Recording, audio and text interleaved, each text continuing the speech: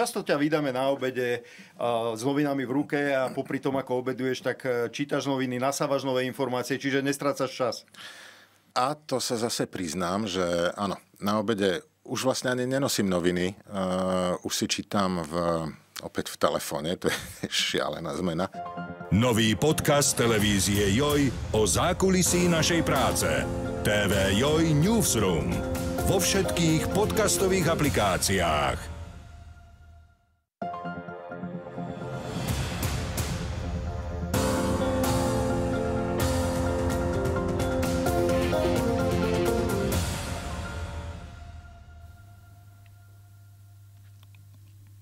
Dobrý deň, vitajte, sledujete 24 podcast. Moje meno je Barbara Jánošová a dnes tu vítam veľmi špeciálneho hostia. Je ním pán Pavol Román, ktorého mnohí poznáte ako tlmočníka posunkového jazyka. Pozdravím všetkých poslucháčov. Ahoj, divákov. vítajú nás, my sa poznáme, takže budeme si týkať, ale ty si tu dnes e, pre niečo iné. E, my sme sa nedávno rozprávali, e, keď sme sa stretli na tlačovej konferencii, že ty si súčasne bývalý svedok Jehovou a mňa to práve zaujímalo, že by sme sa o tomto mohli porozprávať, pretože väčšina z nás, keď sa toto povie, tak e, to má, má takú asociáciu, to sú tí ľudia, ktorí nám chodia klopať, ktorých vidíme niekde postávať na ulici s nejakým časopisom. A ja si myslím, že by bolo teda fajn aj po tom, čo si mi ty rozprával, ako ťa to možno aj negatívne ovplyvnilo teda do života, povedal a nakúkli sme prostredníctvom teba, aké je to prežívanie tých ľudí, ktorí teda uh, sú v tomto spoločenstve, pretože ty si odišiel a budeme sa rozprávať aj o tom, ako vyzeral tvoj tvoj odchod. Uh-huh. A teda celkom, celkom na úvod, ja ďakujem, že si prišiel. Uh-huh. Celkom Rado. na úvod, keby si nám možno mohol povedať ešte niečo o sebe, vždy sa hostia pýtam, že predstav sa nám ty sám za seba. A to, to je pre chvalenkárov veľmi ľahká úloha. Ale nie, tak eh, pochádzam od Trnavy a mám dve deti a teda to je taká možno vec, na ktorú, z ktorej sa teším um, z odcovstva a pôvodne študoval som vlastne matematiku a angličtinu, takže ako pedagogický smer, takže som matematikár angličtinár a nedoštudovaný nakoniec, ale teda postupne vlastne som sa preorientoval na ten posunkový jazyk, lebo som zistil, že tam je akoby väčší, väčšia potreba, väčší dopyt a že je to vlastne také zmysluplné, naplňajúce. Takže teraz vlastne sa venujem profesionálne najmä tomuto. Občas je tam aj tá angličtina. Tak na to sa ešte aspoň na záver potom spýtam. Mm-hmm. Každopádne, uh, poďme si na úvod povedať, že vlastne ako sa to stalo, že uh, si sa stal súčasťou uh, teda Svetkov Jehovových. Mm-hmm. No v podstate som k tomu prišiel tak sloveku k zrnu, to je podobne ako s tým posunkovým jazykom, že vlastne moji rodičia, keď som sa narodil, tak, tak už boli vtedy v tom čase obidvaja nejako nepočujúci a aj, aj boli aj svetkami Jehovovými, takže som sa narodil vlastne do rodiny, um, do rodiny, ktorá patrila k tej komunite. A ty vieš, ako sa oni tam dostali? Mm, áno, áno, áno. A moja mamina vlastne ešte na strednej škole, a oni boli z s ocinou spolužiaci, takže vlastne aj ocino, mali v triede spolužiačku, ktorá bola z východu a tým, že oni chodili na špeciálnu školu pre ľudí, alebo teda žiakov so sluchovým postihnutím, tak, e, tak to bolo tak, že sa stretli v Kremnici na strednej škole a boli z rôznych častí Slovenska a, a tu táto spolužiačka z východu ako keby bola možno, že neviem, neviem presne, či bola oficiálne svetkyňou pokrstenou, alebo ale skrátka mala s nimi nejaký kontakt a viedli o tom debaty. Takže tým, že vlastne, že v posunkovom jazyku mali možnosť nejak tú, tú, tú vieru, tú spiritualitu rozoberať, čo, čo predstavte si akože v 70 rokoch eh, za komunizmu, eh, to, to, takže to bolo pre nich akoby, verím, že, že to bolo ako keby pre nich eh, také revelatórne a tak, tak, tak uh, oni nakoniec začali tomu ako keby rozumieť a aj tým uh, teda uverili mm-hmm. a potom postupne sa dali vlastne ešte pred mojim narodením obidvaja s ocinom pokrstiť. A ty si sa ich aj pýtal vtedy, že prečo? Alebo teda, ty si, keď si sa narodil, ty si asi nemal s čím porovnávať, že čo je asi no, bežný taký život a čo je život v takejto rodine? Áno, áno, ako dá sa to aj takto brať, aj keď ako mm, otvorene povedané, že vlastne veľká časť mojej rodiny, absolútna väčšina, um, bola z majoritného náboženstva, alebo teda ako nebol, neboli svetkovia, mm-hmm. možno okrem, okrem tety. A, takže, takže ako takýto kontakt tam aj, aj pri vyrastaní ako bol, ale rovnako aj ako školy a, a tak, že tam, tam sme normálne nastúpili do klasickej spadovej základky a tak, čiže, čiže nie je to tak, že by sme boli vychovaní úplne v nejakej uzavretej mm-hmm. bubline, um, ale je pravda, že tým, ako sú svetkovia nastavení, tak, tak tak tá, tá izolácia mentálna akoby skôr bola taká, akože, že no, bolo to vedenie k tomu, aby si človek ako keby hľadal priateľov iba v tej rámci tej skupiny a tým pádom a, a, a teda, že vedie lepší životný štýl ako tí ostatní a tým pádom ako keby má, člon, má sklon ten človek sa, sa tak mm-hmm. uzatvárať. A my teda vnímame, to som už hovorila, týchto ľudí tak, že oni chodia a klopú na dvere. Ty si mm-hmm. mal nejaké takéto povinnosti a bolo ti, bol si s tým OK? Áno, a dovolte mi prosím teraz všetkým divákom a poslucháčom sa ospravedlniť, ak som zrovna pri vašich dverách ja, ja zvonil, a, a, takže sa ospravedlňujem. A, bo, je to tak, a svetkovia majú vlastne evangelizáciu ako primárnu povinnosť, uh-huh. čiže vlastne, že, že je to aj explicitne v tom názve, že sve, svedo, svedok, sve, uh-huh. svedčím, v angličtine witness, tak ako keby, že uh, je to z toho, z toho posolstva evanielia, že nesieme svedectvo o kresťanstve, o, o, dobre, o dobrej zvesti, o tom evanieliu a tak, čiže, čiže oni to berú ako keby, že, že to, je, to, je, to je tá primárna ako keby činnosť, ktorú by kresťan mal robiť, teda presviečať, uh-huh. evangelizovať.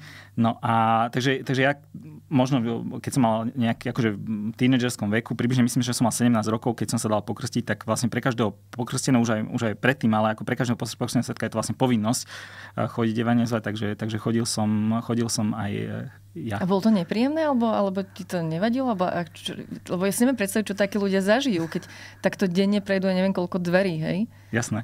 No je to, je to, je to nepríjemné. Akože sú aj príjemné momenty. To zase akože mm, sú ľudia, ktorí sú takí láskaví, že, že si nájdu čas a porozprávajú sa a, a je, to, je to také, že, že vlastne my sme vždy sa tešili, keď sme mali nejak, s niekým nejaký taký rozhovor, ktorý išiel aj trošku aj, aj do hĺbky a tak. Ale, ale v zásade to je nepríjemné, lebo človek, e, človek chodí za neznámymi ľuďmi a možno tí, čo sú extroti ešte, teda svetkovia, tak majú takú výhodu, že, že to je ako keby že znesiteľnejšie, ale, ale Um, a plus, ako ja teraz chápem, že tú druhú stranu, že vlastne, že, že, že človek niečo si robí alebo spí po nočnej a, a zvoní mu takýto spamer, a, ktorý mu chce doniesť trojského kôňa. A, takže, takže, takže áno. To si pekne povedal. Uh, keď sme sa rozprávali o tom, že ty si videl ten rozdiel, ako žijú teda tie deti iné, alebo teda tie rodiny iné, uh, ako si vnímal veci, ktoré boli zakázané? Čo všetko vlastne ste mali vy zakázané, nemohli ste? Hmm. Neviem, možno si mal aj taký pocit, že závidíš tým iným ľuďom, ale možno nie. Hmm.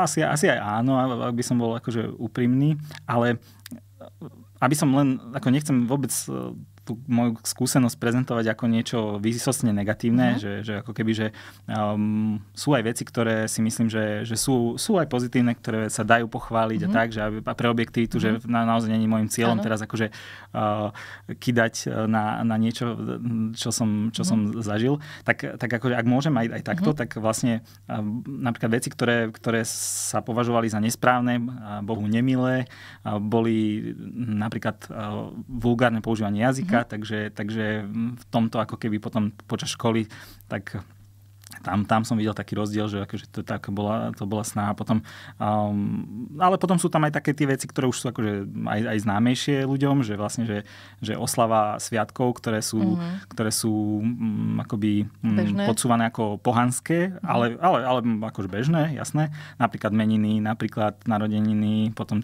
aj tie náboženské sviatky o Janoce, Veľká, Veľká noc. Tak uh, tak, e, tak toto boli veci, ktoré, ktoré boli ako podsúvané, že teda samozrejme s nejakou biblickou racionalizáciou, že, že sú pohanského charakteru a že, že vlastne také by, také by sme nemali, nemali oslavovať. Rešpektoval si to, alebo ti to bolo ľúto? Rešpektoval, pretože, pretože tým, že som bol ako vedený k tomu a, a, a naozaj akože, že aj moji rodičia tomu úprimne verili, moji kamaráti z, z toho zboru, v ktorom som vyrastal, tak boli nastavení a tak, tak, tak sme, to, to naozaj my sme ako boli presvedčení, že, že vlastne to je ten bohumilý spôsob života, chce to od nás Biblia, chce to od nás Boh, tak samozrejme, že, že každý ako keby, kto berie to svoje náboženstvo čo najúprimnejšie, tak, mm-hmm. tak sa snaží tú nejakú tú, tú vierovku a tú, tú doktrínu že dodržiavať, tak, tak, takto sme to brali. A... Lebo ja to vidím cez moje deti, že oni sa tešia na narodiny, na meniny, lebo niečo Jasné. dostanú, dostanú darček. Jasné. A teraz keď vidím, že teda moji um, nejakí uh, konškoláci dostanú trikrát do roka nejaký darček a tešia sa na to, že majú to spojené Hej. s týmto. A vlastne, že ja sa pozerám na to, že, že či ti to nebolo po tejto stránke akože ľúto. Rozumiem, no.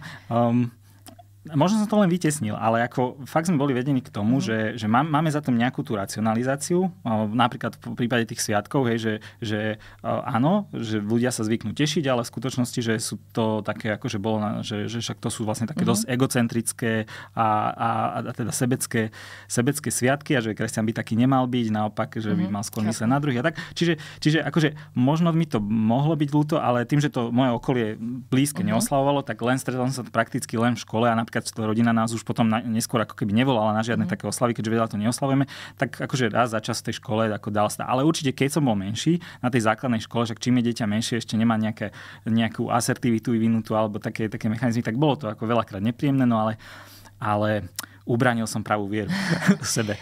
A ty si vlastne, ty si mi spomínal, že uh, každopádne uh, sem tam sa stalo, že boli ľudia, ktorí vám sa snažili povedať, že akože toto nie je úplne OK správanie, že robila tá, robilo to spoločenstvo niečo preto, aby vy ste minimalizovali ten kontakt s ľuďmi, ktorí by vás mohli vám povedať, že ale toto, toto nerob a že na týmto si rozmýšľal, že či to je vlastne v poriadku? Hej. Pamätám si vlastne e, ešte doteraz, hoci teda už, už je to nejaký čas, ale že hm, citát vlastne z Nového zákona, z prvého listu Korintianom, 15. kapitola, 33. verš. A tam je vlastne taký, taký citát, myslím, že asi to svätý Pavol e, píše, že, že zlá spoločnosť kazí užitočné zvyky. To je premisa. Uh-huh. No a za ktorú vlastne za, za premenu zlá spoločnosť si svetkovia dosadzujú všetci iní okrem svetkov. Takže Takže, hm, takže my sme vlastne boli vedení fakt k tomu, aby sme, že, že, že, že, veď, veď tí svetáci a tak to naozaj svetkovia volajú a, a to je bizar, že, že vlastne aj, aj, aj dospelí medzi sebou, keď sa, keď sa rozprávajú, tak vlastne hovoria o tých dlhých ako o svetákoch, že, to, ako, že mm-hmm. sú, sú ľudia zo sveta a, a to sú biblické citáty, že celý svet leží moci toho zlého a tak, že, že, že, že fujky, fujky. Satanov vláda. Áno, presne, presne. Tak, tak, takže, takže, takže Takže tento ako keby tento narratív tam beží a vlastne uh, nie je to až také extrémne ako možno v niektorých iných sektách, kultoch, že, že vlastne, že tí ľudia sa snažia zakladať, alebo tie sekty, že si zakladajú vlastné nejaké školy a, a ako keby, že aj, aj, aj vytrhnú, vytrhnú sa a idú niekde, niekde komunitne žiť, ako keby mimo, mimo civilizáciu. Uh, to, to, to nie, nie je to až také extrémne, ale, ale akoby tá, takáto, tento typ psychológie, že vlastne, že, že ostatní, uh, ak ak nežijú týmto bohumilým spôsobom, týmto kresťanstvom pravým, tak eh, tým pádom akože majú... Zlá spoločnosť proste každý tie určité mm-hmm. zvyky, takže, takže uh, obmedzme ten kontakt len na to nevyhnutné mm-hmm. minimum, ako áno, treba chodiť do školy, treba chodiť do práce, that's it. A ty si mal aj nejakých kamarátov, ktorí teda neboli z svetkovia, alebo mohol si mať aj takýchto kamarátov?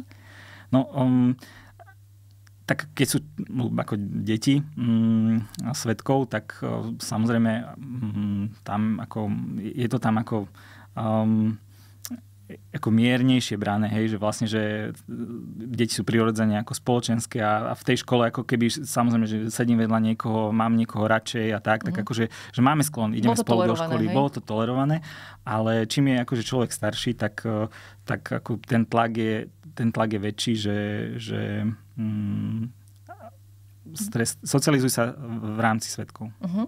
Mňa teraz zaujíma v rámci tých vecí, ktoré boli zakázané, že vy ste mali zakázané aj voliť. A teda nebolo, nebolo vám to ľúto o to viac, že si potom hovoríš mi, že oni si myslia, že teda tí svetáci ovládajú svet, tí druhí ovládajú ano. svet. Akože, ale na druhej strane tá možnosť zvoliť niekoho tam tým pádom nebola. Tom, mm-hmm. Tomu ani nerozumiem vlastne, že dôvod, prečo, prečo nemohli zvoliť ľudia. Jasné, jasné.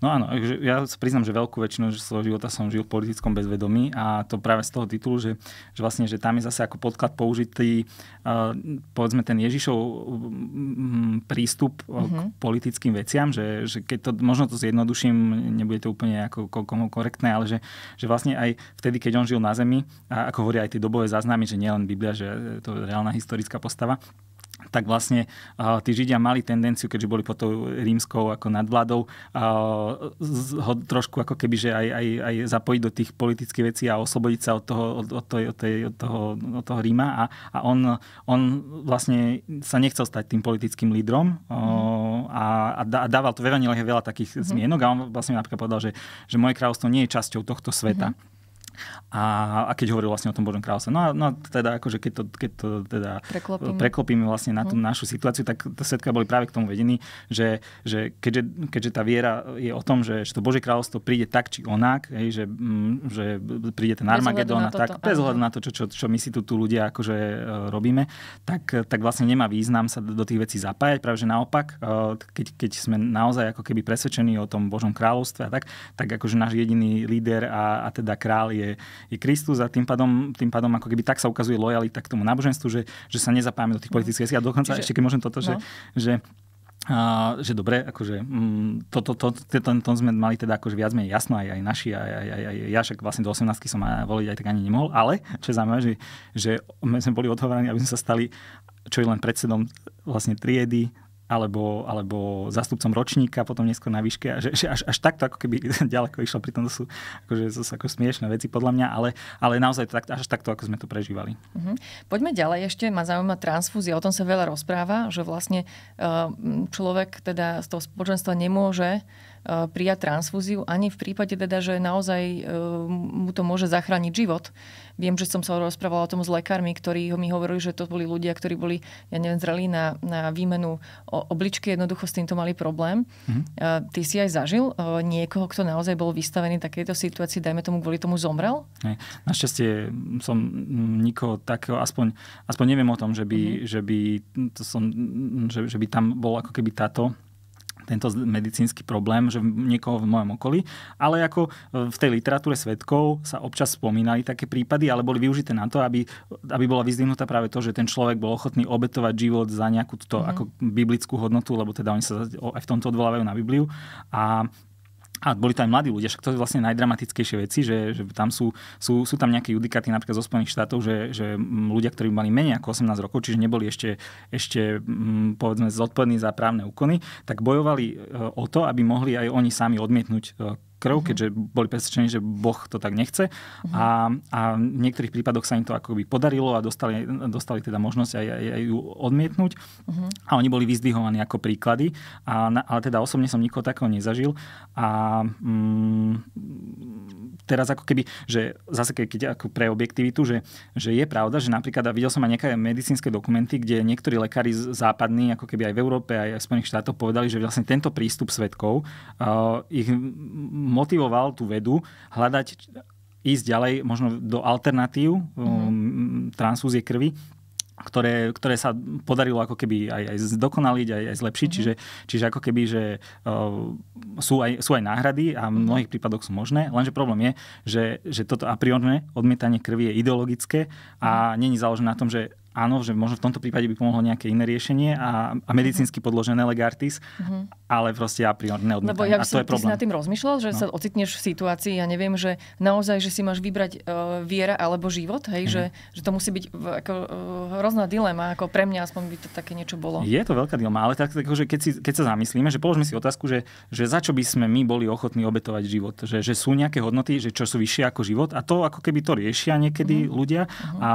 a pri, pri človeku, ktorý berie náboženstvo ako ultra vážne a, a, a verí to, že ten Boh to od neho chce. A konec koncov Biblii sú také príklady, že, že Abraham bol ochotný normálne že zabiť svojho syna Izáka a možno poznáte ten príbeh, e, lebo, lebo bol presvedčený o tom, že to Boh od neho chce. A proste tento toxický software, ktorý niekedy náboženstvo dokáže ľuďom naimplantovať a to teda, ak dúfam, že sa nikoho netknem, ale skrátka to, to vidíme v mnohých iných aj náboženstvách a radikálnych ako keby smeroch, že ľudia sú ochotní pre svoju vieru v to, že robia Božiu vôľu, vedú džihad, tak, tak robiť ohromné zverstva. Je taký citát, myslím, že to povedal, neviem, či Francis Bacon alebo, alebo niekto iný, ale že, že ľudia nikdy nepachajú zlo tak dokonale, ako keď ho páchajú z náboženského presvedčenia, že, mm, že, že vlastne tento motív, že ja, ja, ja toto chce odo mňa najvyššia entita vo vesmíre a uh-huh. tak, tak ja, ja, ako, že stratím z, z zábrany a, a som ochotný spraviť čokoľvek uh-huh. len preto, lebo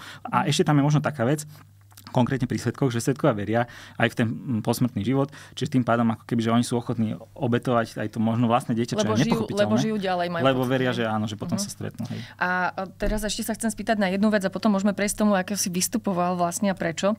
Že z čoho vlastne žijú? Vy ste okrem tých povinností, teda, že klopať mali aj nejaké, museli ste niečo odvádzať e, vlastne tomu spoločenstvu? Je taký mýtus, že vlastne, že sa tam odvádzajú povinné desiatky alebo, alebo nejaké uh-huh. takto akože odozdávanie majetku uh-huh. a tak.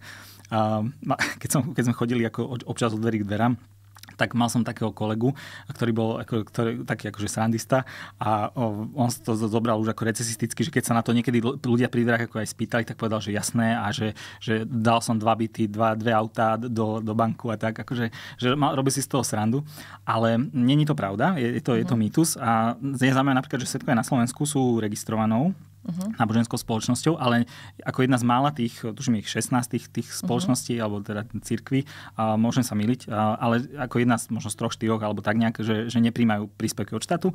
A, čiže tiež z nejakých takýchto hodnotových dôvodov, že oni, oni chcú byť oddelení od toho sveta, tak, takže je to čisto na dobrovoľných ako keby príspevkoch. No a hm, takže, takže tam v tej prednáškovej sále je taká, taká priehradka, kde ľudia môžu ako hm, dobrovoľne prispieť, že, že tomto by som povedal, že to je ako keby aj menej také invazívne ako, ako uh-huh. v mhm. niektorých iných spoločenstvách, uh-huh. kde vlastne koluje nejaká, nejaká zbierkovnica alebo tak. Ale ale ako očakáva sa to a pravidelne na tých bohoslúžbách sa to zvykne aj explicitne povedať, že, že teda chceme podporiť jeho dielo a, a treba, treba mm-hmm. tak, no, tak to sa deje, to je jasné. Poďme teraz k tomu, že ako sa to stalo, že ty si si povedal, že ale vlastne akože toto nie je to, čo ja chcem, v čom som sa narodil, tak tak nechcem žiť. Že kedy sa to stalo a čo, čo potom následovalo? Mm-hmm. No úplne úprimne, um, to bola skôr taká znúdzecnosť, že naozaj um, som na to neprišiel ako keby sám, že, že bol to skôr akoby súhra okolností a za to som mal veľmi vďačný, že, uh, lebo fakt som to úprimne veril a, a mám aj mnoho teda bývalých kamarátov teraz už, uh, ktorí sú o mnoho vzdelanejší ako ja, majú Karlovú univerzitu, majú doktoráty a správa z psychológie a napriek tomu ako keby ostávajú, ostávajú vnútri a, a veria tomu ďalej. Ja som, ja som teda, mne sa pri, taká vlastne vec, že som sa na výške zalobil do spolužiačky a, a je to, je to neprekážalo, alebo teda nedala to nejak najavo a bola ochotná, akože, že sme spolu chodili a tak a viedlo to vlastne až k tomu, že sme spolu išli na Work Travel USA, a kde sme kde sme teda, uh, sa, že, že budeme spolu ako keby bývať. Ja som to samozrejme mal také racionalizáciu, že, že, že však to zmanéžujem, akoby, lebo chcel som žiť akoby uh, morálnym, kresťanský, cudným spôsobom života. A to už bolo proti tomu, A, to, hej, a toto si... už bolo, ale však má človek racionalizáciu, že ja však ja to ako ustražím, ale čo sa, ako to boli sme, boli sme 20-roční, ty vlastne... Um, Ešte tínedžeri svojím spôsobom. Áno, tak mentálne to určite za, za mňa, ale teda tak Lenka bola ďalej, ale uh, vlastne um, to, že, že sme tam to, to leto takto strávili, tak ja keď som potom prišiel domov, tak som sa bol vyspovedať a vlastne Není to spoveď oficiálna, ale teda snažím sa to nejak tak ako keby e, prispôsobiť akože analogicky. No a vlastne na tom, na tom, pri tom stretnutí so staršími v zbore, vlastne, ktorí ako keby že rozhodli, že tým, že to bolo, ako nebola to nejaká, e, nejaká epizóda, ale že skrátka to bolo, to bolo nejaký akože opakované alebo Počkaj, ťa preruším, ale ty si tam musel pred viacerými sa vyspovedať? To no, musí byť no, ako nepríjemné, nie? No, že z očí v oči takto. Hej, hej, áno, vlastne áno, že to nie je ako keby inštitút spovede, tak ako možno poznáme áno. v tom mainstreamu o náboženstve, ale že, že ono to má, uh, ono sa to volá v angličtine Judicial Committee, a je to teda ako právny výbor, sú tam traja akože starší duchovní toho, toho zboru a teda je tam ten, ten, ten človek, ktorý teda no, sa, sa spovedá. Ne, nemusí to byť z iniciatívy toho človeka, Aha. to môže byť aj tak, že oni zistia, oni sa dopočujú, že ten a človek a oslavoval Vianoce, alebo fajčil cigarety, alebo sa to niekde opil. A tak, je to ako... Dal si sa? Hej, ako, ja som Áno, áno, áno, nebudem klamať, proste bolo, bolo, to, bolo to také, že mal som z toho, mal bol som z toho v kýbli, hej, že, že no. ako, ale, ale zase tie výčitky ma dohnali k tomu, že chcem to ako keby sa zveriť, mm. lebo som to považoval za správne, že teda porozprávať aj, aj, aj, aj, aj o, tých, o tých detailoch. No, Čo a, ti povedali? No, že že to je, to je známka nekajúcného správania, že celé leto viete, že, že, že si takto žil a to je proste, to, to by si mohol mať negatívny vplyv na našich, na našich ďalších mladých. Takže, takže vlastne bol som exkomunikovaný a a potom teda... Čiže rovno, rovno ti povedali, že už nie si náš človek a že už si žij svoj život, hej? Áno, ale ako tam ten proces vlastne je taký, že na ďalšej ako keby bohoslúžbe uh, sa to oznámi ako keby verejne celému zboru. Takže ako, že ešte som mal pár dní na to, aby som zavolal vlastne s kamarátom a, a tak, že, že rozlúčiť sa a tak, lebo vlastne to je spoločenská smrť, akože tam je exkomunikácia brána úplne fundamentalisticky, že tí ľudia vás nemôžu ani pozdraviť. Ďalší bizar idete po ulici, ľudia, s ktorými ste 20 rokov akoby vyrastali, nik, oni nič nevedia o tom, čo ste vy spravili, pretože v tom zbore je to oznámené, že, že ten a ten už nie je jeho im svetkom, mm-hmm. to je mhm. všetko, čiže oni nevedia, či som, či som uh, zneužíval sexuálne malé deti, alebo proste ne, nevedia to, mm-hmm. nemajú to odka- nemôžu sa so mnou rozprávať a prejdú na druhú stranu ulice, aby vás sa nemuseli s vami, aby vás nemuseli pozdraviť, alebo, mm-hmm. alebo proste pozdraviť do zeme a tak. Mm-hmm. Akože, ale pre úprimnosť, ja som sa tiež tak správal predtým, ešte keď som tomu veril, k iným vylúčeným, uh-huh. že, že fakt tak to, to je, je, to, je tá manipulácia k takémuto správaniu je hrozné. Čiže ty si mi hovoril, že vlastne je ťažšie, že oni aj hovorili, že je ťažšie, e, tá, tá izolácia je ťažšie, vlastne ťažšie vrátiť sa, že oni vlastne na to sa spoliehajú, že ten človek sa ani nevystaví tomu riziku, lebo zostane sociálne izolovaný. Neuniesie tú situáciu, ktorá príde potom. Áno, áno, áno. Ako, je, to, je to tak, akože, mm, to je, áno, to, je, to, to vyvracia ten mýtus, že ako keby, že z tejto sekty je ťažké utiecť. Uh, um, ako keď si to zoberiete tak, že ak sa bojíte tak veľmi prísť o, tú, o tých priateľov a tak, tak vlastne, že, že buď zatajíte... To vás tam drží, hej? A to, áno, to, áno, to je drže, ale, ale t- tam stačí, aby ste naozaj, že ja neviem, že e, viackrát po sebe sa opili, alebo, alebo boli ste dva, viackrát na oslave nejakých... Tak, taký, napríklad, napríklad, tak to môže viesť naozaj k exkomunikácii, alebo že komunikovali ste so, s bývalým svetkom a odpadlíkom, čo teda je tiež ako keby hriech a, a prejavíte nejaký nechajúcný postoj, čo sa sa nepáči. No aké to, aké to bolo odrazu prísť o to svoje zázemie sociálne, že, že zvládal si to? No, ako považoval som to, že, že, že, že zvládnem to, že však mám ešte vlastne tú priateľku Lenku, že, že, že to zvládneme, ale že, ale že ja sa napravím a ja sa, ja sa skúsim akože vrátiť, ale že to zvládnem. No ale samozrejme s tým prichádza to som teda zistil až dodatočne, ale že, že veľa, veľa negatívnych emócií, hnev, smutok, výčitky, vina, a uh-huh. to vás vrhne um, uh-huh. do, do riadneho koktajlu tých, tých fakt, že negatívnych ako emócií. Takže bolo to ťažké. A ja som mal tú, tú, to šťastie, že vlastne, že ja už som vtedy bol za, uh, zamestnaný, alebo teda Onedlho na to som sa zamestnal vlastne v miestnej asociácii e, sluchov uh-huh. postihnutých, takže vlastne, že mal som možnosť ako keby s nepočujúcimi klientami sa stretávať, uh-huh. pomáhať im a tak. A to ma podľa mňa akože udržalo, udržalo v takej tej zmysluplnej rovine, že vlastne že som neprišiel úplne o všetko, uh-huh. ale že tam tie aj zmysluplné nejaké sociálne väzby ostali alebo tá, nadobudli sa a že, že vlastne, že, že som nepadol ako úplne, ale mám tu, mám tu aj také tetovanie, e, taká bodkočiarka, e, že, že to je je ako keby aj symbol um, toho, že, že sú ľudia, ktorí uvažovali nad tým, že to zabalia a, a vlastne, že um, nedali, nedali bodku za tým životom, ale že, že vlastne, že, dal, že, že pokračovali.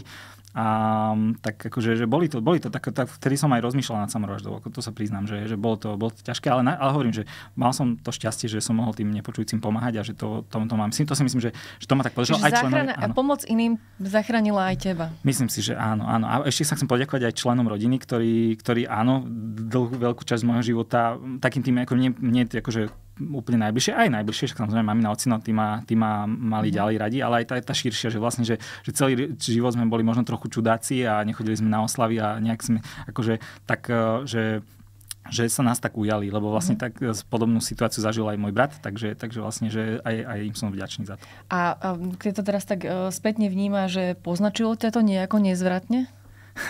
To, čo, že, že vlastne ty si sa ako die, ty si sa vlastne tam ocitol, ty sa nerozhodol preto ano. byť tam, hej? Že to v tom je ten rozdiel možno oproti... A, čiastočne, ma, myslím, že máš pravdu, ale, ale je pravda, že, že svetkovia napríklad nekrstia, nekrstia deti, mm-hmm. že krstia až, až m, pri najmenšom tínedžerov a konec, a konec koncov aj mhm. tam som u mnoho svetkov sa stalo svetkami až v dospelom veku, že vlastne, že však vďaka tej mhm. evangelizačnej činnosti, takže sa normálne krstia uh, ako dospelí, a to je tiež bizar, ak môžem povedať, proste možno ste zachytili niekedy občas v médiách to tak, že v lete a. veľký kongres, niekoľko tisíc ľudí na štadión Ondreja Nepela, alebo teda, teda na hokejovom mm-hmm. štadióne, alebo nejakom futbalovom štadióne, tak tam proste je v strede bazén a, a tam masovka 100 ľudí sa, sa v sobotu na obed pokrstí, celý štadión sa na to pozerá, na tých ľudí v plavkách, potom sa zase prezlečú do oblečikov, do kravatiek. Mm-hmm. Čistý, čistý bizar. Áno, ale teda, aby som sa vrátil teda k tej otázke. Lebo ty že, si mi hovoril, že, že, že, proste, že ty by si sa sám dnes nerozhodol, že to bolo áno. pre teba také, áno. že... To, áno, to, to, áno, áno, to súhlasím. Uh,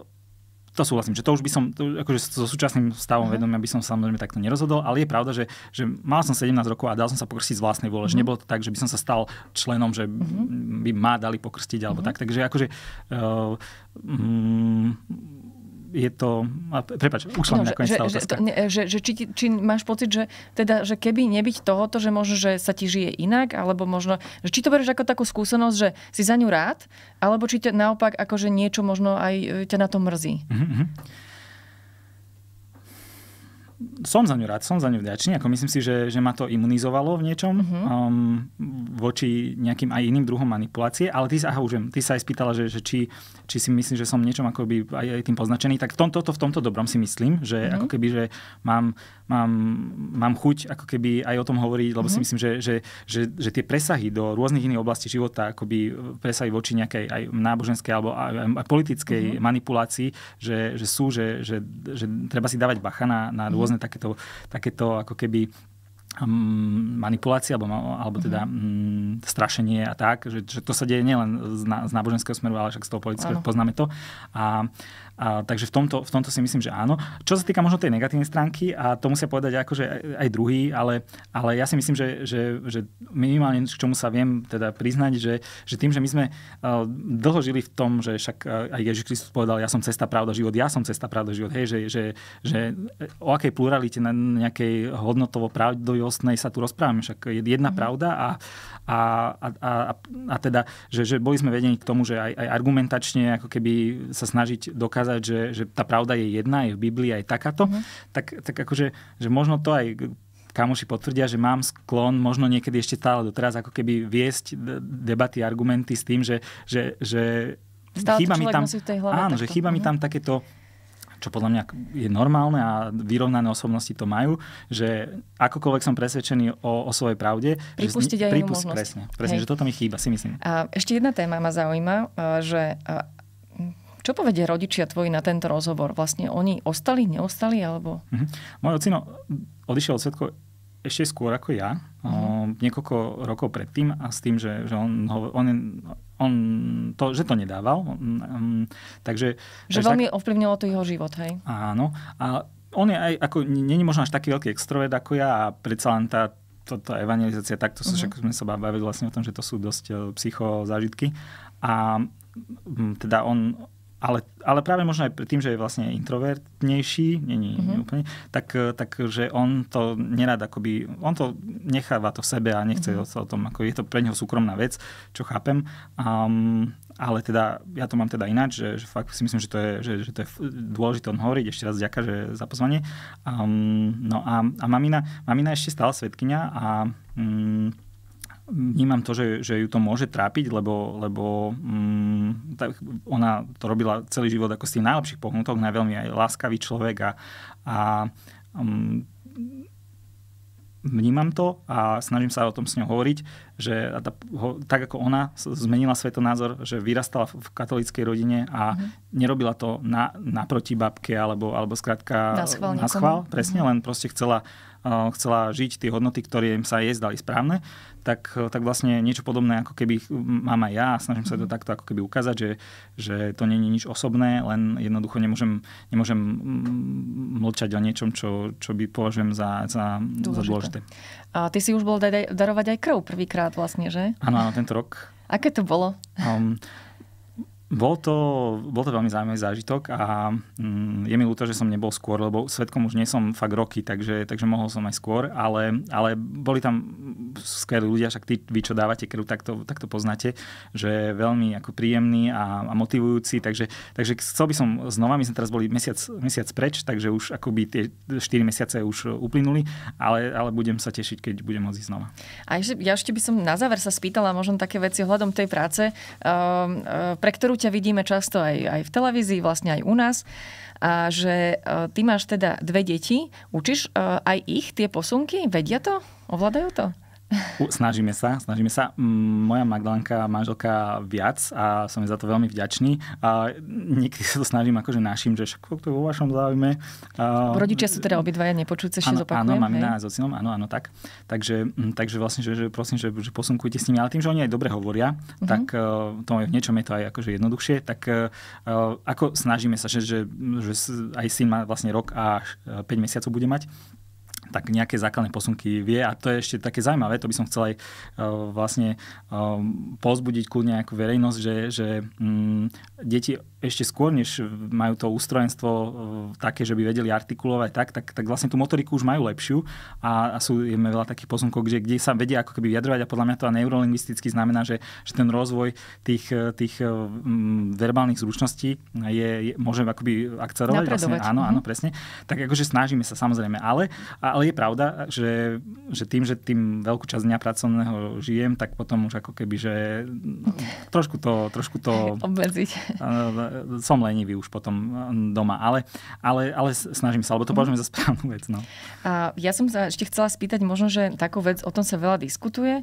Niektorí to možno nevedia, že rozumejú, nepočujúci, ale teraz nemyslím ako tvoji rodičia, ktorí proste postupne zrejme prišli, ak som správne Mamina, pochopila, áno, áno. Hm? tak ale že rozumejú takí, ktorí sa tak narodili narodia čítanému textu, napríklad knihám, alebo na internete textu uh, čítanému? Mm-hmm. Um, ono je viacero aj takých e, iniciatív zo strany aj nepočujúcich, že mm,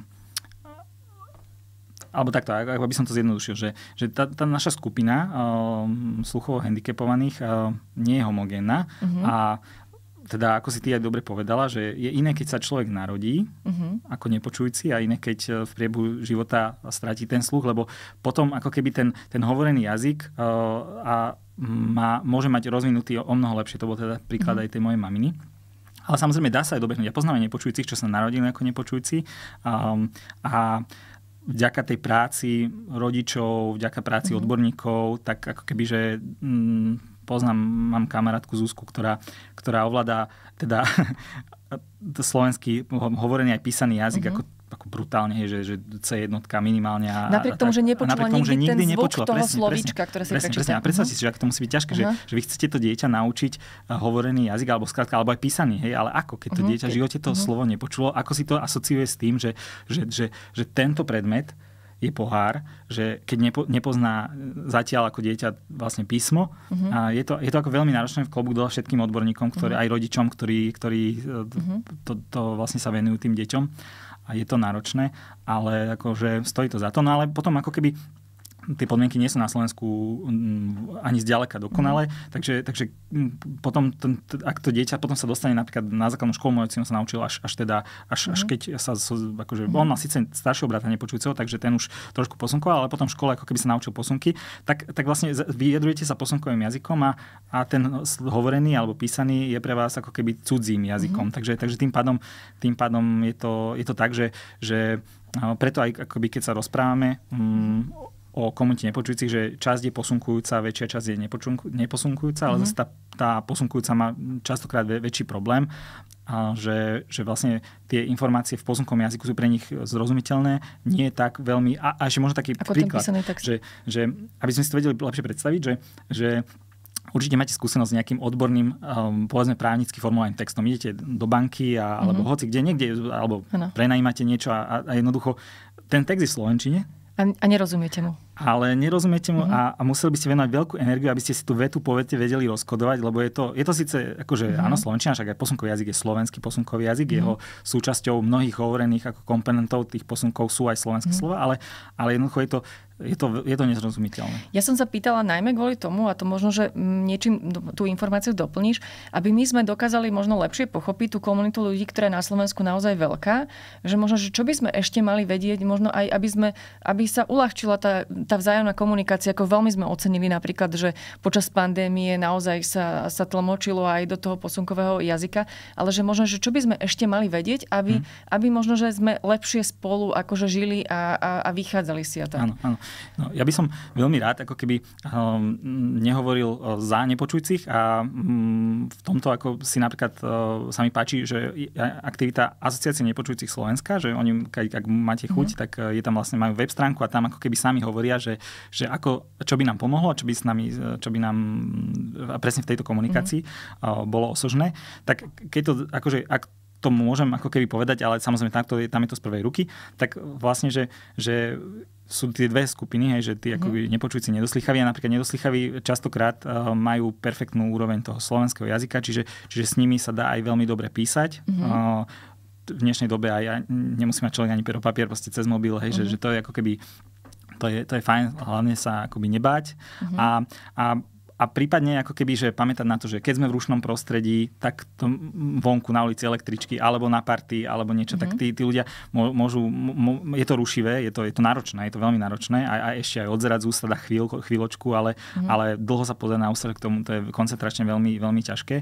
Takže že pamätať možno na toto. A ja ešte, čo aj, aj z domu mám takú, takú skúsenosť, že vlastne, že, že pozera sa nejaká relácia alebo niečo, tak, eh, tak ako keby, že, že tam som to zažíval, že, že častokrát, že sa, sa ma pýtajú, že a čo, čo vlastne, čo sa hovorí a tak. A aj ten počujúci človek ako počase, že, že, že má sklon ako redukovať, alebo, alebo skrátka, však potom ti to poviem, potom, potom tom a tak, že vlastne, že oni niekedy mm, nechcú byť na obťaž a potom sa prestanú pýtať, ale len tak ako prikývnú, že a, a, a uh-huh. tak, ale to ako keby, že, že ak sa dá, tak vlastne um, nenechať sa tým odratiť a čo najzrozumiteľnejšie, hej, hej, hej, uh-huh. lebo im to môže byť nepríjemné, ako keby sa, sa, sa pýtať znova a znova, ale zároveň ako keby, že my sme v tej pozícii, že oni sú viac nevýhodnení, tak ako keby výsť, výsť im teda v ústrety, pozerať sa, uh-huh. očný kontakt a, a možno ešte taká perlička, že, že keď aj sa odzera z úst, že vlastne ja ty teraz vlastne sedíš za, uh, pred zdrojom svetla a vtedy sa, vtedy sa ťažko odzera vyzerá, keď, je, keď je silné svetlo alebo, alebo ste za, pred oknom, tak mhm. vlastne, uh-huh. že je, je ťažko vidieť ten kontrast, kto fotografuje, tento dobre, dobre pozná, tak vlastne, že, že na to možno myslieť, že radšej sa uh-huh. nestaviať hm, pred zdroj svetla, či už teda uh-huh. okna, aby, aby sa dalo odzerať. Dobre, ďakujem veľmi pekne, ďakujem, že si tu bol a že si povedal, že sme vďaka tebe nakúkli možno do takých uh, zákutí, ktoré nepoznáme, sú nám neznáme a že sme niečo zistili. Ja teda nepoznám veľa posunkov, ale teda, že tlieskam ti, hej, ak to robím správne. Ďakujem. Tí, čo nás pozerajú, to vidia ale to je asi taký najznámejší posun, mm-hmm. s ktorým sa bežne stretávame Áno. aj my na tlačových konferenciách, aj teda na rôznych podujatiach. Takže ešte raz veľmi pekne ďakujem. Rado sa stalo a ja ďakujem srdečne za pozvanie. A pozdravujem aj divákov a rozlučím sa tým takým známym, že ostaňte zdraví. Všetko dobré.